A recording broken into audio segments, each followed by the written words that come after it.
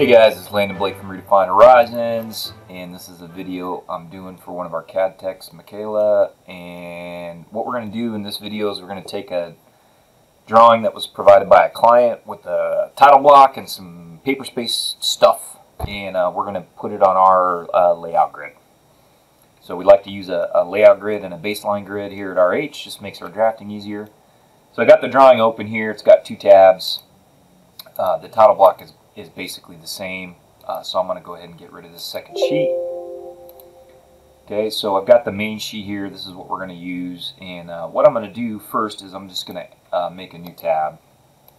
And uh, for now, we're just going to call it new layout.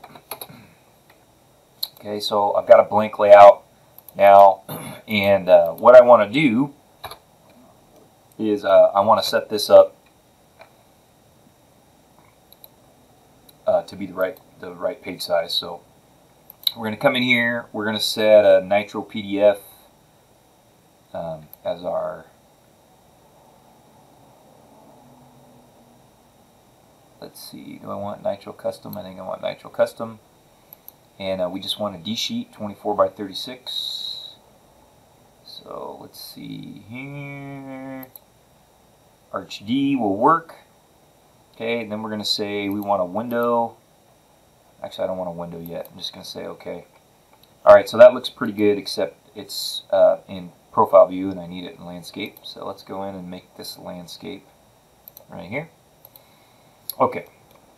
Now what I want to do is I want to import our RH layout grid on here. So let's go ahead and do that. So we're just going to insert it as a block. And we're going to come down to our RH templates, RH CAD folder, and we're going to go into sheets and we're going to grab the 24 by 36 inch layout grid right here. Okay, so we're going to open that. And uh, we're going to drop it in at 0, 0. Okay. Uh, now you can see it's offset a little bit from the paper, so let's fix that. We're going to come back into page setup and we are going to say window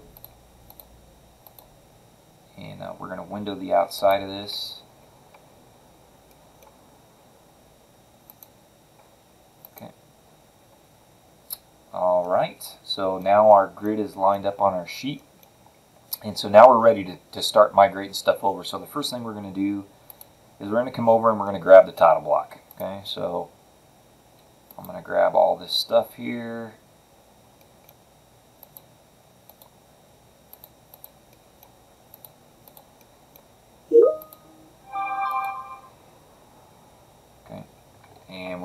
We're going to control C or edit copy either way.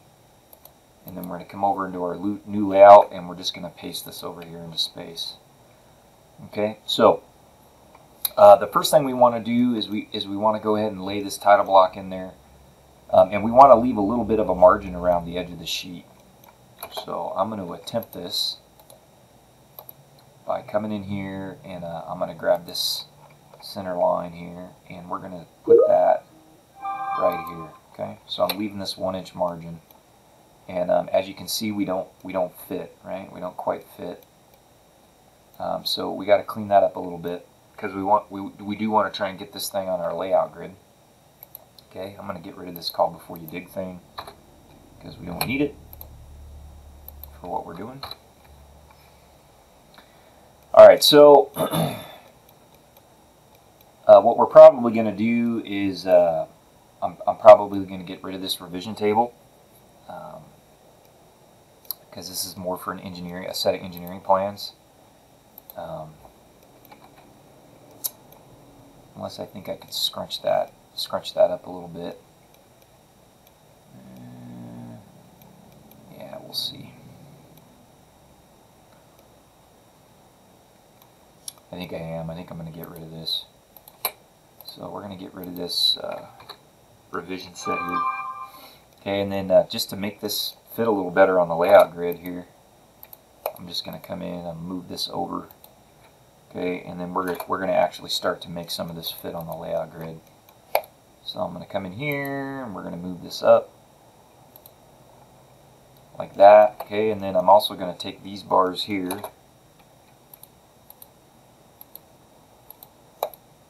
we're going to move them up here to this red line. So we're just making this fit our layout grid. Okay, and then we'll extend these over. Okay, and then uh, we'll go ahead and run from midpoint down to midpoint here. Nope. And uh, we'll see if we can get these to fit a little better. Okay, now we're going to end up doing some more adjustments here because we're going to we're going to put these on our baseline grid, which I'll show you guys in a, in a little bit. It might be in another video, but so we'll, we'll, we'll get this cleaned up a little bit. Okay. All right, now uh, what I'd like is I'd like this stuff to go in here, so I want to move this. This stuff needs to move up. So what we're going to do is we're going to come in here. We're going to just take this logo and everything, and we're going to say, hey, we want to move you. Actually, that's not what I want either. So just to make this work, I'm going to extend this line over. I'm going to say, all right, I want to move everything here, okay, from this point right here. We're going to put that on our layout grid right here.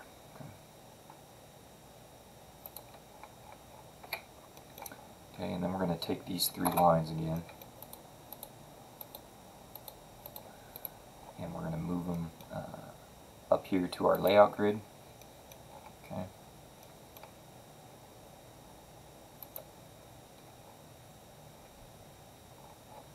Okay, so now they're on our layout grid. We'll extend this over. Okay. And uh, that looks like it still fits to me, which is cool.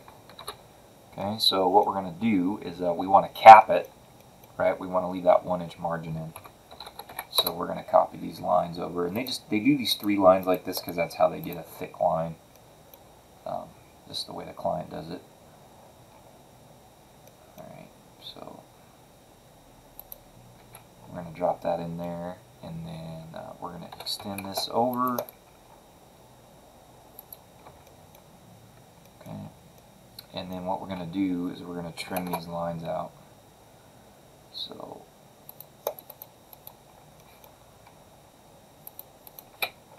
And we probably need to do a fillet yeah we need to fillet these blue lines. It's kind of a pain in the butt the way they do it but. So we're going to fillet these lines.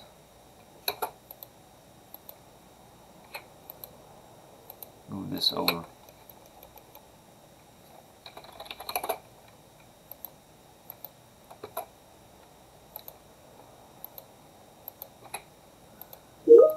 okay so I think we got this in now where we want. Okay, and uh, what we did is uh, we're going to slide this title stuff up a little bit. okay, and what I probably want to do here is figure out how to center that stuff. So um, we're going to draw a line from here to here that'll give us a good midpoint. Okay, and then now I can draw this midpoint up. And we're going to draw it perpendicular over here. Okay, so that's the middle. This line right here now is the middle of these three cells. So now I can kind of take this text and center it. So if you get it and it doesn't want to snap to the right spot, you just hit PER for your perpendicular snap. Okay, now these are a little bit tricky just because of the way they do these. Um, so I'm going to snap these to uh, these buffer lines on the edge of my cells, which is kind of nice. That's why we have buffer lines. Okay. All right, so we've got the title kind of centered there. Now I can move this stuff back over. Okay, so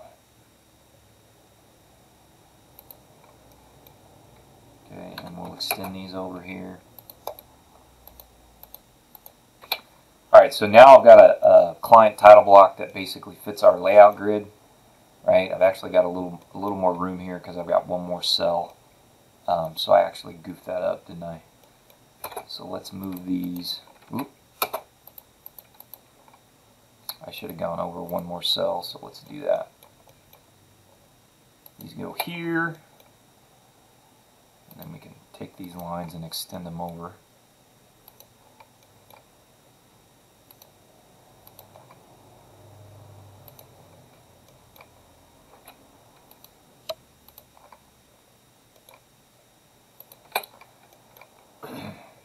Okay, and then so when, when we're done here, we'll have we'll have what I call the vertical bar done, um, which is part of the title block, the vertical band or vertical bar.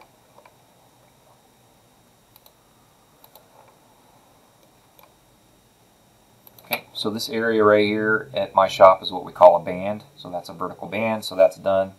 So what we'd like to do now uh, is just get the rest of this uh, title block kind of lined up. So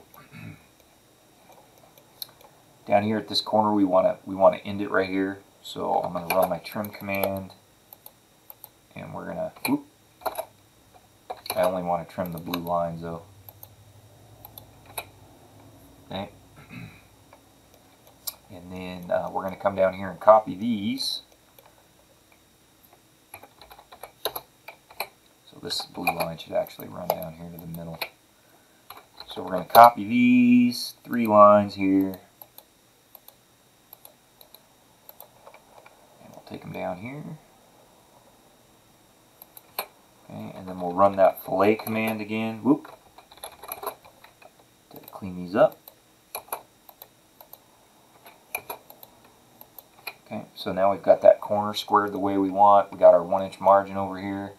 Okay, and it just happens to come to the right spot over here, which means we can get rid of this.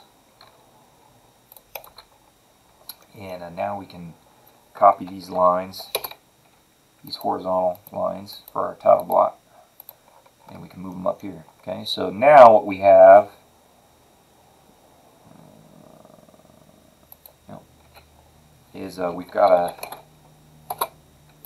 almost. We almost have a good title block here. Okay, so we've got a pretty good title block here now that fits our layout grid. Um, we got to do a little bit of cleanup on some of this text. Uh, we'll align that to our base baseline grid in a minute.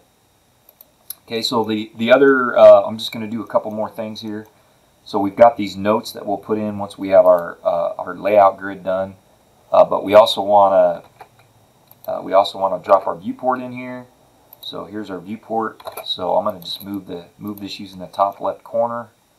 And we're going to put it right here on our buffer lines. That's how this layout grid works. Okay, and then we want to do something kind of reasonable here. So I'm going to go ahead and uh, probably move this down to right here. Okay, so that gives me, uh, actually, you know what? Let's do that again. I'm going to pull this out of here. Okay, so now we got our viewport in here, and that leaves me with a kind of two by two, two by two buffer area around my viewport between my viewport and my title block. Okay, and, and what makes it easy um, to kind of see what we've got here is we can just grab our uh, freeze layer command, and we can turn off these grid lines. Oh, it doesn't for some reason. It's because this is on. Let's make that zero. Try and freeze these again. Alright, so here's what it looks like uh, without the grid on it. A little, little easier on the eyes, but everything's laid out square.